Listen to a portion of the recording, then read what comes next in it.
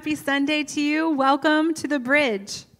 It is the last Sunday of May, and we are excited. We are unveiling our comeback plan today at 6 p.m. on Facebook Live. We're going to share it with you and answer any questions that you have. So, you want to make sure to get on here later today on Facebook at 6 o'clock, and we'll be there answering any of your questions. Today is also Pentecost Sunday. It's a day we just remember and celebrate the Holy Spirit. He is our helper, He is our friend, He's our comforter and our guide. And so we are just uh, celebrating that today and are excited for this morning. Would you check out this video?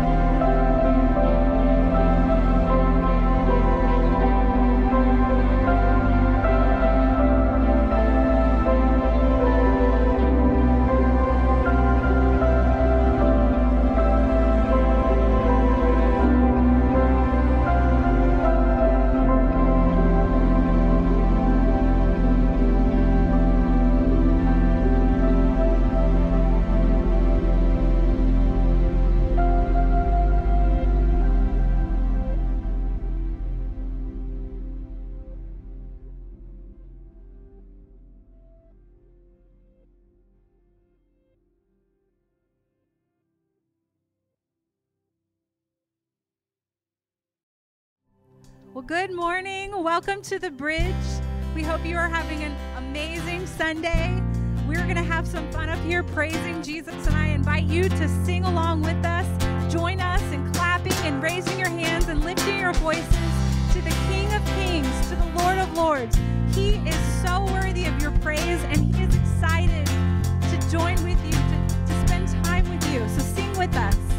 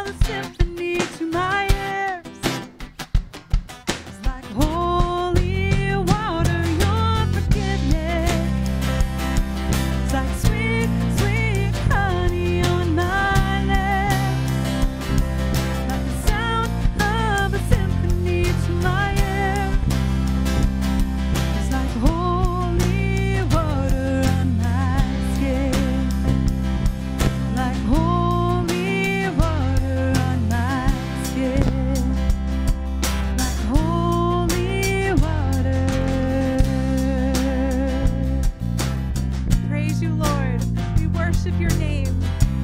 Thank you, Jesus, that spending time with you is so refreshing.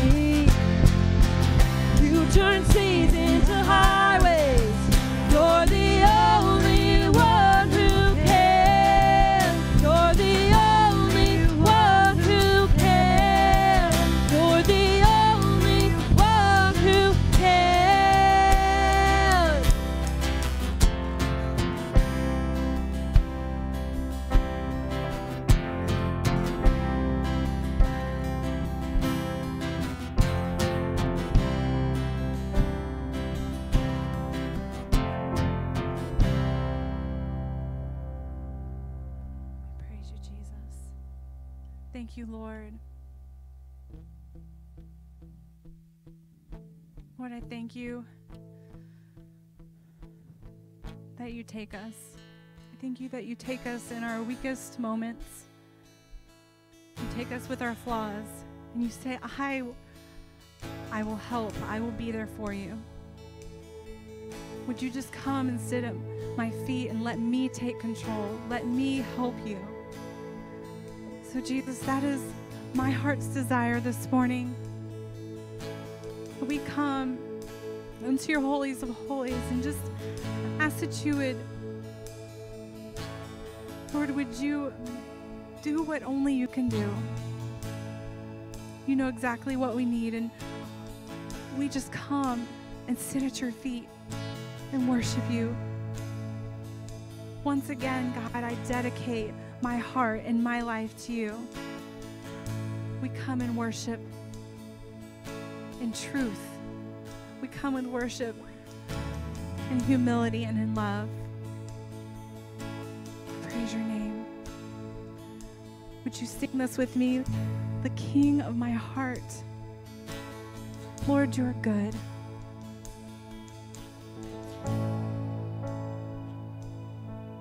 Let the King of my heart be the mountain where I the fountain I drink from. Oh, he is my song. Let the King of my heart be the shadow where I hide, the ransom for my life. Oh, he is my song. You are good,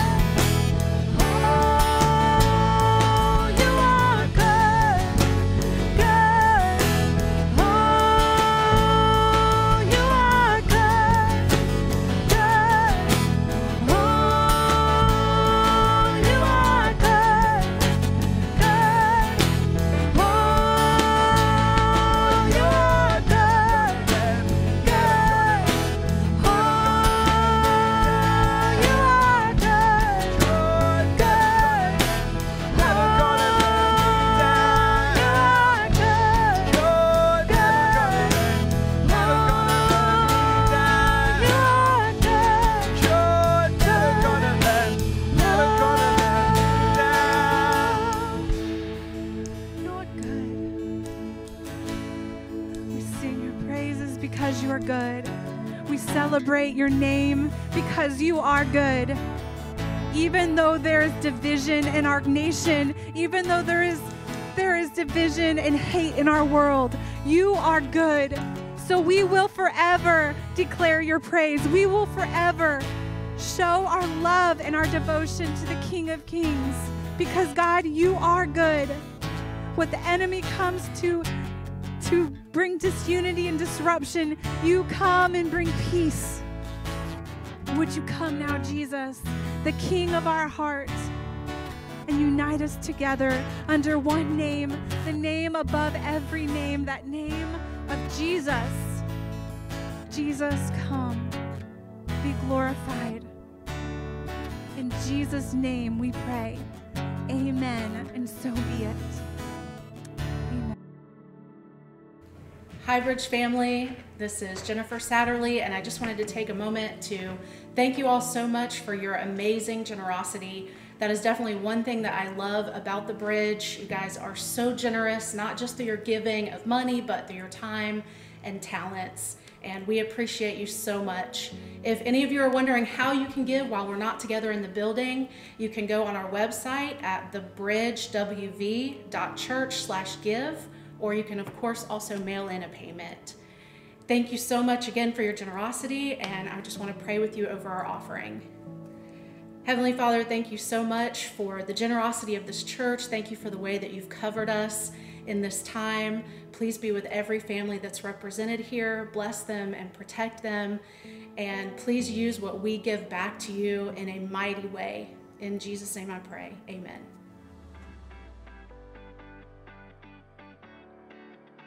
Hello, Bridge family. I hope your day has started off great. We are so thankful you are joining us. Whether you are new to the bridge or have been here for years, we believe you are at the right place and at the right time. God loves you and He wants to work in your life to impact the lives of others.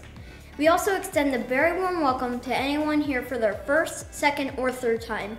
We would love to get to know you better, so if you go to our eConnect card at thebridgewv.church slash guest and tell us more about yourself, that would be amazing. If you would like prayer or are ready to give, you can also find these on our website, thebridgewv.church, or click the links in the comments section of our online platform.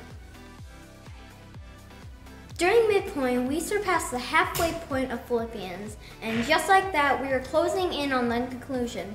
Thank you everyone for making midpoint a part of your week. Starting June 17th, we are making a few tweaks to midpoint. Most importantly, we are making Midpoint an in-person opportunity. We will be following the state requested social distancing guidelines, but we are very excited and encouraged to gather together again. If you have missed this awesome gathering, make sure to join us this week as we continue through Philippians. It, every Wednesday at 7 p.m., we are live on Facebook. Make a point to join us, and if you ever miss a week, you can always catch up by finding them on our Facebook feed. Stay tuned. Next week, we are going to let you know two opportunities we have to be the hands and feet of Jesus in June and July. There are exciting days ahead.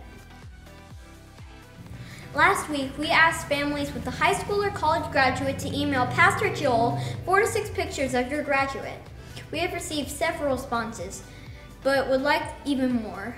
With this, we are extending the deadline to Tuesday, June 2nd.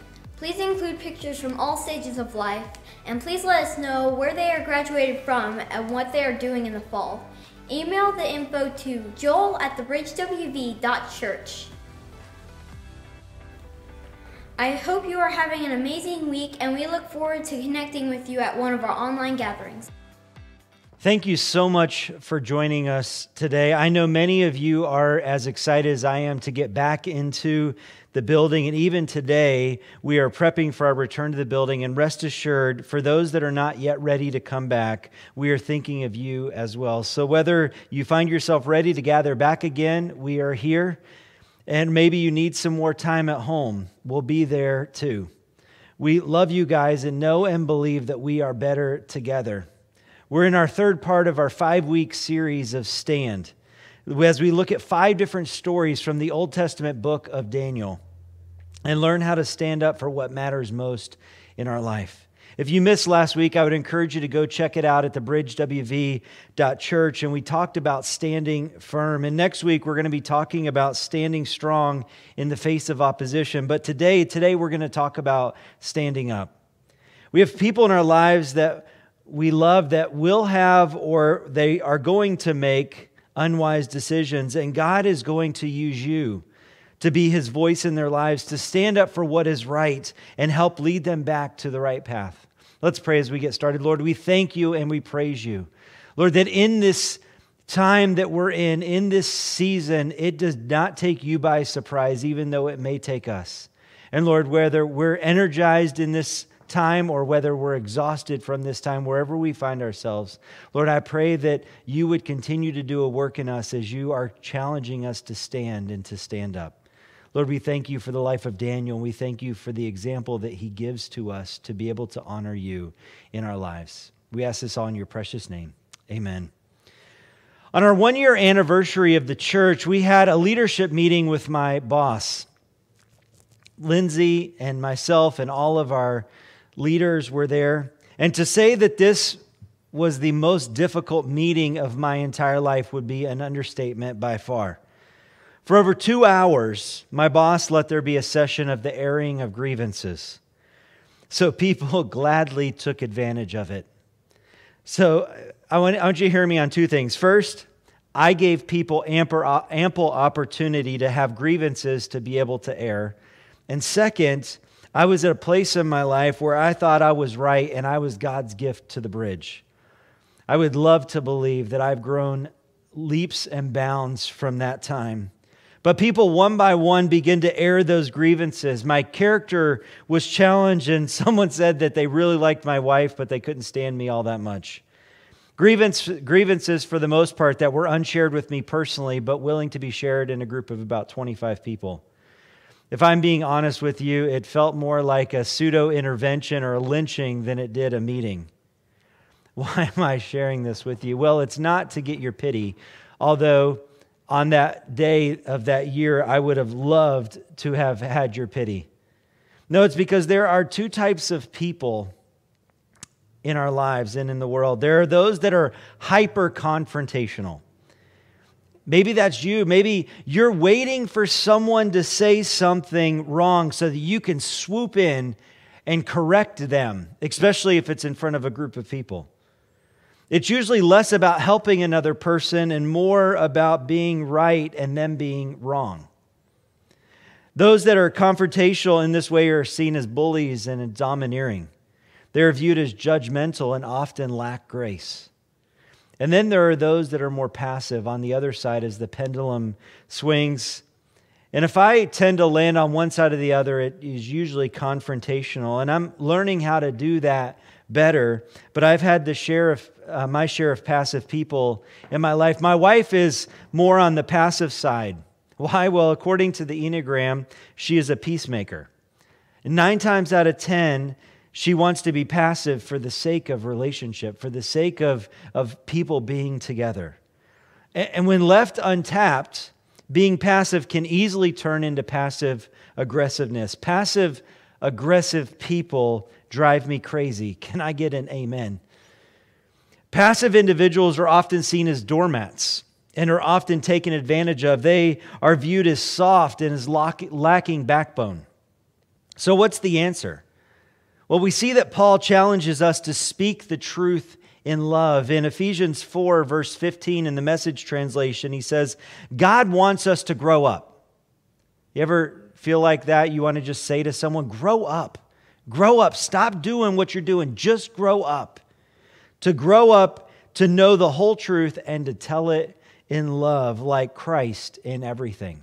And that really is the core. One of our values at the bridge is that we are Jesus centered, and Jesus the center of everything that we do. He's the center of every relationship. He's the center of every confrontation. He's the center of all of the things that are going on in our life.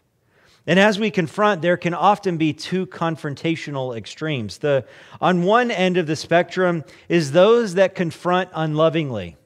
Maybe you've never experienced that, but if you have, you are fully aware of what I'm talking about. Early off on in our marriage, I feared for my safety, not because I was afraid of my wife, but because when she saw injustice, it, there's this natural reaction in her life that she would speak out.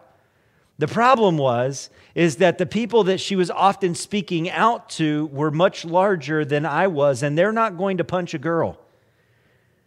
It wasn't always in the right time. I would tell her to be quiet because I was afraid and I did not want to deal with that. And I heard confronting unlovingly compared with a drive by shooting that while a drive by may hit their target, there's a lot of collateral da- damage that often happens in those situations. And at what level are we okay with collateral damage? As we unlovingly confront people, what level uh, is, is, it worth a broken relationship, maybe a broken marriage, a broken parent and child relationship, an employer employer relationship? I'm reminded that we are called to do two things. That's it. Jesus narrows it down. There's 600 and some laws that the Jews were required to keep, and Moses had the 10 that he shared with the children of Israel, and Jesus narrows all of those down into two. He says, You love the Lord with everything that you are, and you love your neighbor as yourself. And if you can do those two things, you will have mastered what it is to live here on this earth. And after sitting through that meeting, I, uh, I would have considered myself not feeling very loved. Actually, I spent the year next year praying. Actually, it wasn't less praying, it was more like begging, begging God to let us the heck up out of here. On one side, there's, there's those that confront unlovingly. On the other side is those that are unwilling to confront. When Lindsay would speak up, I fell into this category. I remember saying to her, This isn't my fight. Mostly because I didn't want to get beat up, but we can rationalize it. This isn't my fight. Even this week, we're seeing things um, uh, that are coming up online people dying and, and communities gathering together for uh, the injustice that has happened. And it's easy for us to, to be unwilling to confront in those situations where it matters. We can rationalize it well, that's not in our neighborhood. As I've talked to other pastors about their reopen plans, um, that, that one of the responses that I've gotten is, well, that's not how it is here. Some people would say, well, who am I to judge? I have my own baggage, I have my own things. I, I don't need to be dealing with other people. But here's the reality to love God and to love people, confrontation is going to have to be a part of our lives. So, for those of you that are listening today that are unwilling to confront, confrontation must be a part of your life, and you're going to have to figure out how to do it because Jesus tells us that we are called to be peacemakers, not peacekeepers, peacemakers. And there's a difference. I'd encourage you to Google it if you want to know the difference between peacekeeper and peacemaker. I don't have time to dive into all of that today. But confrontation is going to be a part of our lives. Why? Because we're all prone to missteps. We're all prone to, to make the wrong decisions, to make the wrong choices. And we're all called to lift one another up. So not only do we all mess up, but then we're all in this together, that we all have to build one another up. We need to learn to confront in the right way at the right time for the right reasons. Being right is not one of those reasons. Maybe you're a parent who, as a child, is making bad decisions. We, we must learn when and how to step in and to push them, but not push them so hard that they, they run away but give them enough space that will allow them to come back to God. Maybe you have a family member, a close friend who's making poor financial decisions. God may be calling you to be the voice of reason in their lives. Maybe you have someone in your life that struggles with addictions, with alcohol or drugs or sexual, and God is calling you to help them see God's grace from a non judgmental point of view. Maybe you have a friend that already has three cats and they want to get two more. For the sake of God, do not let them get two more cats. You do not want to be the person. I'm just kidding. If you have four cats, Jesus still loves you. But I just want to remind you that Carole Baskin has more than three cats. We talked last week about this king, King Nebuchadnezzar, one that Saddam Hussein would have uh, characterized himself in that he called himself the son of Nebuchadnezzar. That is the level of evilness that Nebuchadnezzar carried upon his life. He was horrible in the way that he treated people, uh, ripped them from their homelands, ripped them from their families, indoctrinated them into the life of the uh, Babylonian Empire. The crazy part is that Nebuchadnezzar, over the years, Nebuchadnezzar saw God work and God move in miraculous ways. Daniel and his friends stood head and shoulders above the rest of the group. Yet over time, his heart become, became calloused. This is decade after Daniel and the boys came to Babylon. Most scholars believe it was about 30 years since that had transpired. And God gives Nebuchadnezzar this crazy dream. You ever have crazy dreams? I, I, often have them and I'll wake up and I'll try to tell Lindsay, and she'll be like, that makes no sense. And then I'll get up and get ready and I'll try to remember what my dreams are. And, and I can never seem to remember my dreams after I wake up and get out of bed. But that didn't happen in Nebuchadnezzar. This dream was etched into his mind and he wanted it, he wanted it interpreted. He calls the wise men, he calls the magicians, he calls the enchanters, the astrologers, the fortune tellers. Daniel 4 7 says, I told them the dream, but they could not make known to me its interpretation. You see, Nebuchadnezzar was known to be cruel, and kings were known to kill the ones that were bringing the message, which is why that we have the phrase today, don't, don't shoot the messenger. The verse doesn't specifically say they couldn't do it, but more like that they wouldn't do it because they were afraid for their lives as you dig into the Hebrew. They were passing the buck. You ever do that before? Instead of dealing with the confrontation ahead of you, you just pass the buck on to somebody else and let somebody else deal with it. So the king calls Daniel in because Daniel, we read back in Daniel 1 that he had been given this gift of interpreting dreams. And in 419, he says, Upon hearing this, Daniel, who is also known as Belteshazzar, was overcome for a time and frightened by the meaning of the dream. Not not by the meaning, not like, oh man, that dream is scary. No, what I have to tell the king is the scary part. Then the king said to him, Belteshazzar, don't be alarmed by the dream and what it means. Daniel was thinking, that's easy for you to say. You're on the other end of that sword that drops in the guillotine. You don't have to give bad news to the king. He tells the king that he wishes that it were about his enemies. That's never a good sign. Daniel keeps going. He's making the decision to stand up when all the others had backed down or passed the buck. You see, Daniel had been serving this king for 30 years.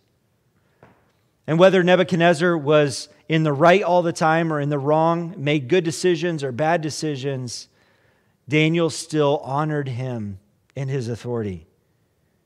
We get to see someone stand up in, in a loving way speaking the truth in love because of love. And then Daniel lays this bombshell on him, the truth. In Daniel 4:22 it says that tree he, he gives him the dream and there's a tree in it. And he says that tree your majesty is you.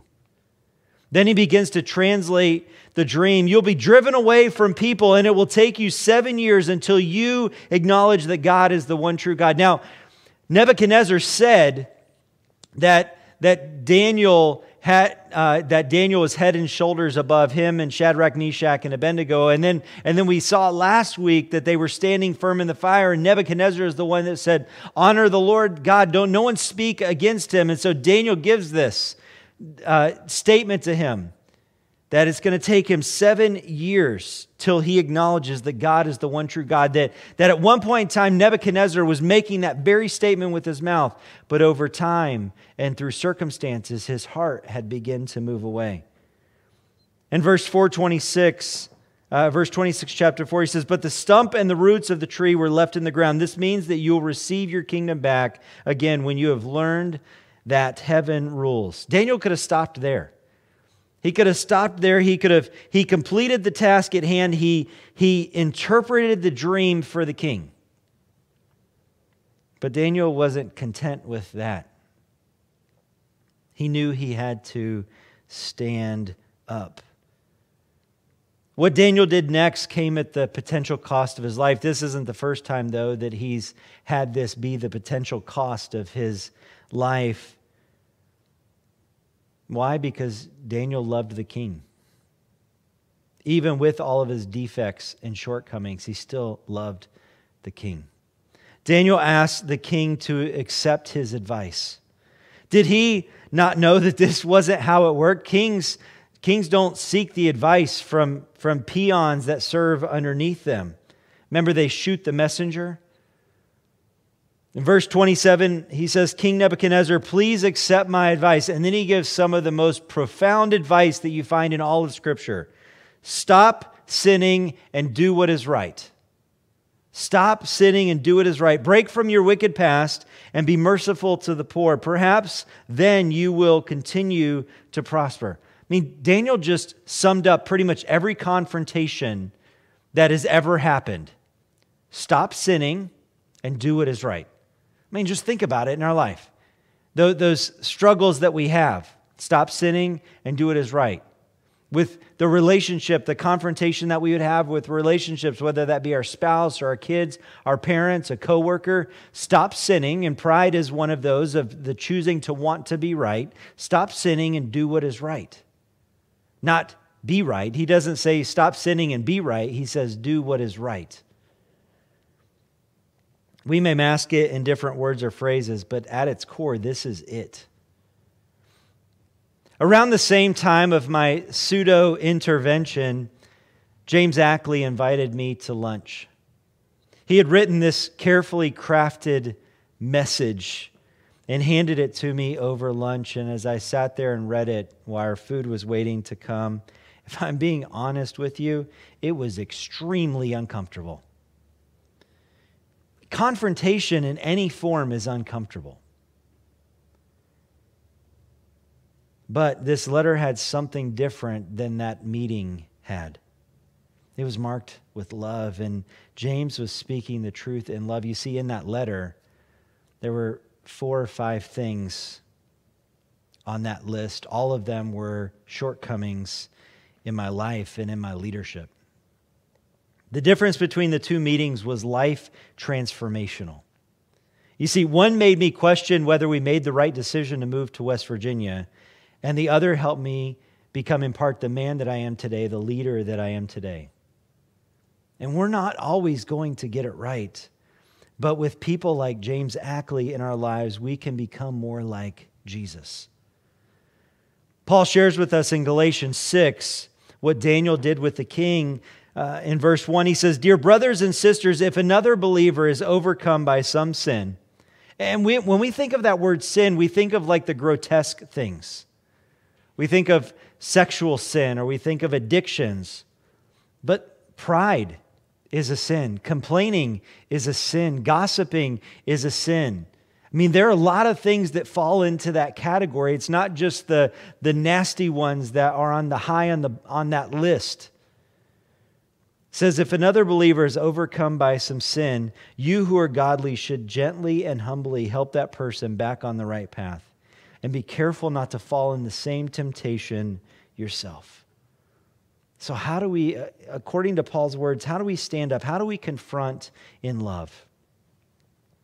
The first way is that we do it gently and humbly. This speaks to a deep love this isn't I'm right and you're wrong. This isn't you do this or I'm going to bolt or whatever that looks like. It's, it's spoken in love. If we're doing life together, which is how we are designed, I mean, you go back to Genesis and you read that, that God formed the perfect creation and he breathed life into them. And one of the things that, that God said is it's not good for man to be alone. From the very beginning, relationship was a part of our lives. It's how we're designed, and we need to walk with gentleness and humility in our lives. We don't ever do this as one who is above the other. We don't do this as one that has it all together because you may think you have it all together, or you may look like you have it all together, but you don't. You may hide your deficiencies well, but they're still there. I got to mention this firsthand a few weeks ago. I mentioned that Lindsay and I were firmly asked to change something that we were doing in our lives. My old self would have retaliated because uh, they were out of line in how they did it, but rather, Lindsay, with gentleness and humility, approached this person in love. Lindsay confronted with gentleness and humility, even though that wasn't what was expressed to us.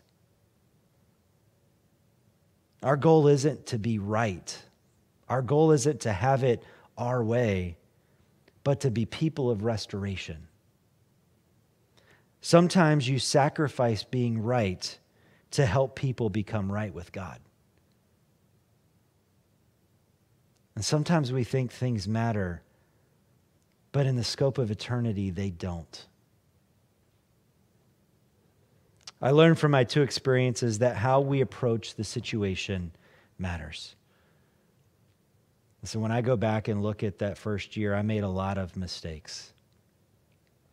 But how those two situations were approached to Lindsay and I were two drastically different measures.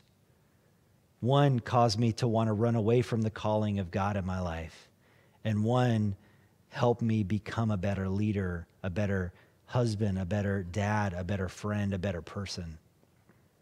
Lindsay used to tell me a lot that I could be right and wrong at the same time. I could be right, but I could be wrong in how I go about being right. I was told on my wedding day that I could be right or I could be happy and to choose well. And in a relationship, as we stand up, we can choose to be right or we can choose to love. You see, being right often comes from a judgmental heart, and choosing to love comes from grace. I mean, think about all the times that Jesus could have chosen to be right. When he was arrested, he could have chosen to be right. When he was on trial, he could have chosen to be right. When he was belittled, he could have chosen to be right, but he didn't. He chose to love instead. Grace that has been given so freely to you and to me is the grace that flows out of us to other people. And sometimes, sometimes I think we forget about the grace that flows so freely to us and we hold other people to standards that we're unwilling to hold ourselves to. And the second thing that, that Paul shares in that passage is that we have to be careful not to trip ourselves. You see, when we confront other people, the enemy works overtime in our life. It's like he flips it into a new gear and he just goes after it. Why? Because he wants to see relationships destroyed. His plan is to steal, to kill, and destroy. When we confront others, he, he's, he's like, yes, let's get in there. Let's, let's create that division. If that weren't the case, there wouldn't be church splits all over this nation, all over the world. And then there's the potential in our lives of becoming prideful because when we step in and we bring correction to other people, we can think better of ourselves.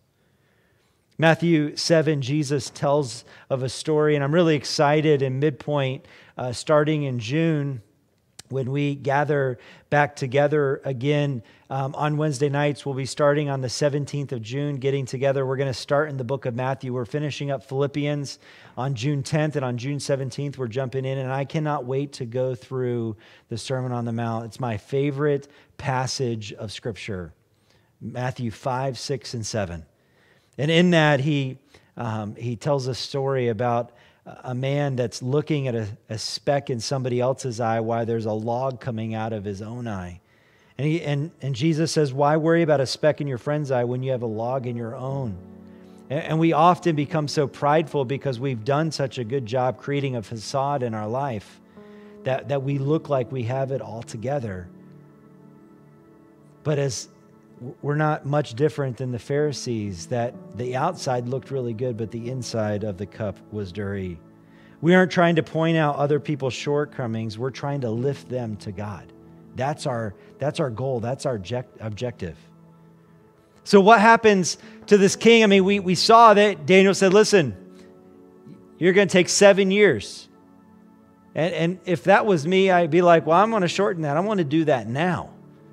But does he immediately change his way and, and get on his knees and say, Lord, forgive me and change his heart? No, he does not.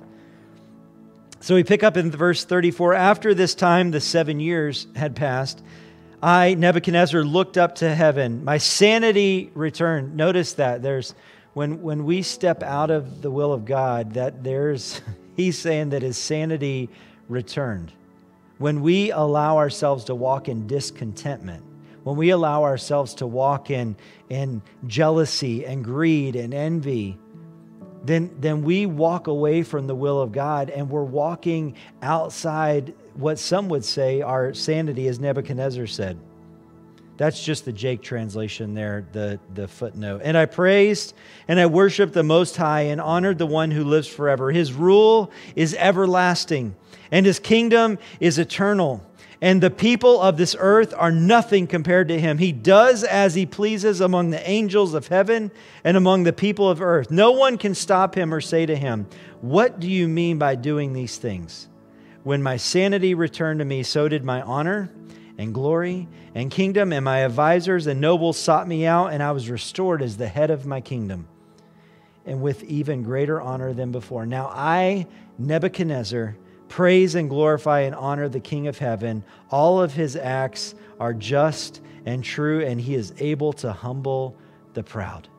He is able to humble the proud. That's how he finishes that statement out because Nebuchadnezzar became, I mean, you would have thought that that would have already happened with the gold statue. But time has a way of working on us. The longer that we are in power, the longer that we're in church, we can become calloused and we can become prideful. So, what do I take away from this? I'm not responsible for the outcome or their response. I'm only responsible for my approach. My approach is to speak the truth in love. It's not to dismiss confrontation, it's not to confront unwillingly, it's to confront in love to speak truth in love. And today, my challenge is for us that we would be available. Available to be a small part of reconciling or restoration work in, in, of Jesus in people's lives.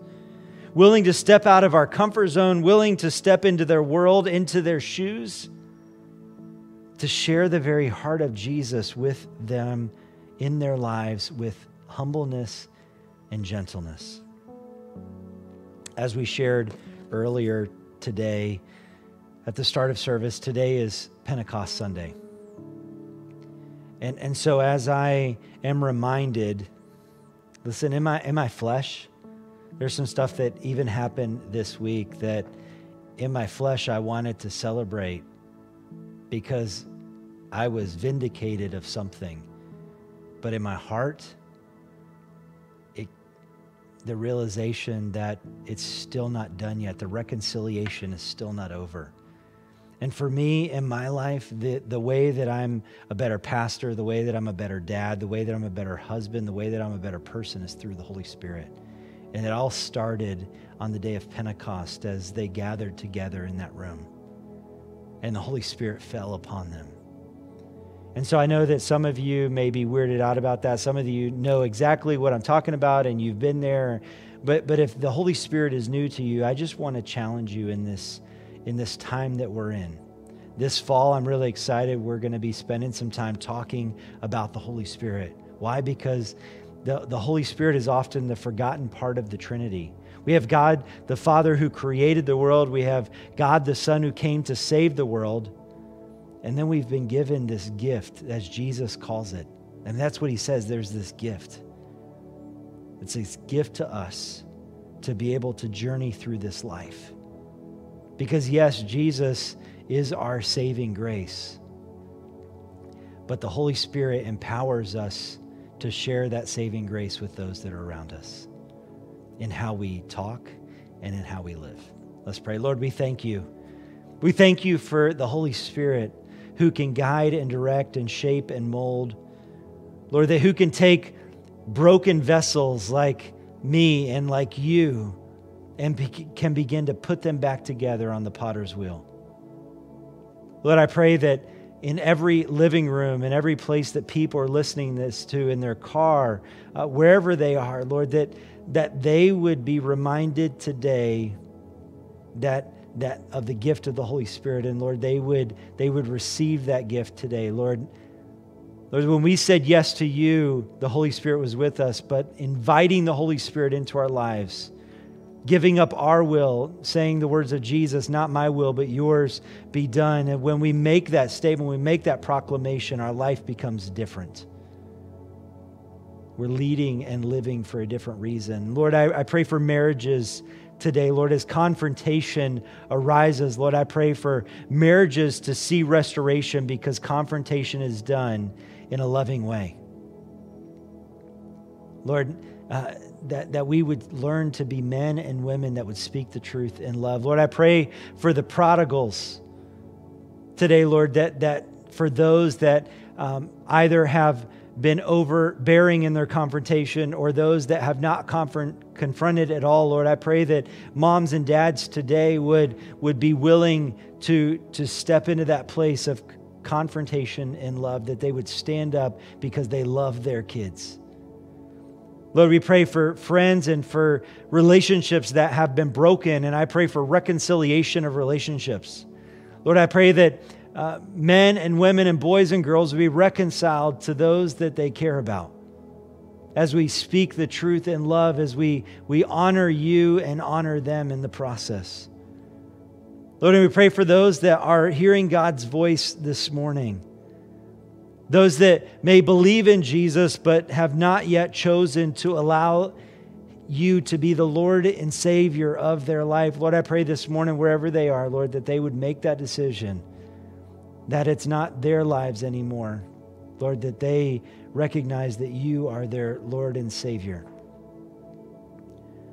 Lord, and we pray today for those that are sitting in rooms with family and friends that are listening today that have yet to make a decision to believe. Lord, we thank you that they're here today, Lord, and I pray that, that today you would begin to do a work in their life. Lord, that sometimes we have to walk through those seasons of, like Nebuchadnezzar did, to walk through those years of, of, of losing our sanity only to come back to you. Lord, and I pray that, that those that would be in that place today, that they wouldn't wait those seven years, but they would experience your truth and your grace today. Lord, we thank you and we praise you, and we ask this all in your name. Amen. Amen. Well, today I just want to declare a few things over you. I declare that we are children of the Most High God, that we are peacemakers and not peacekeepers, that we walk in gentleness and humility drawing others to Jesus. I declare freedom today from addictions of alcohol and drugs and pornography. I declare that marriages are restored and children are returned to their fathers and mothers. I declare that as we confront in love, that people will know the truth and the truth will set them free. And we ask this all in your name. Amen. Amen. Would you join us as we head back into worship this morning?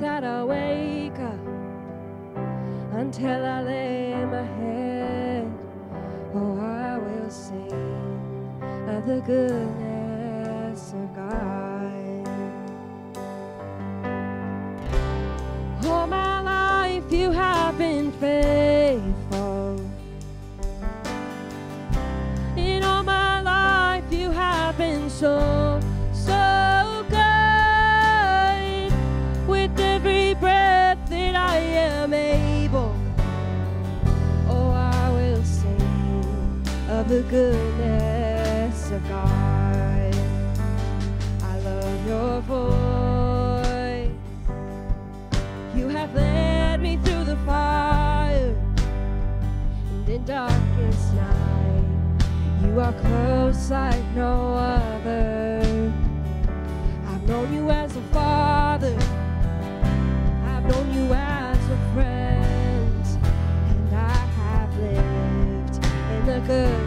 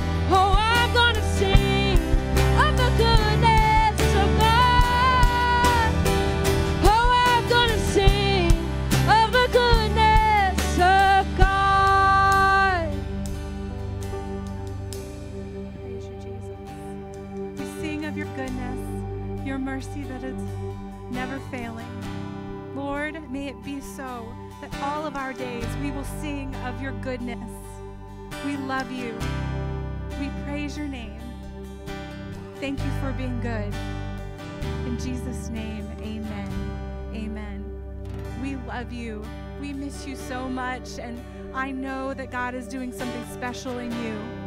May He continue to do more and more in your life and in your heart as you seek Him.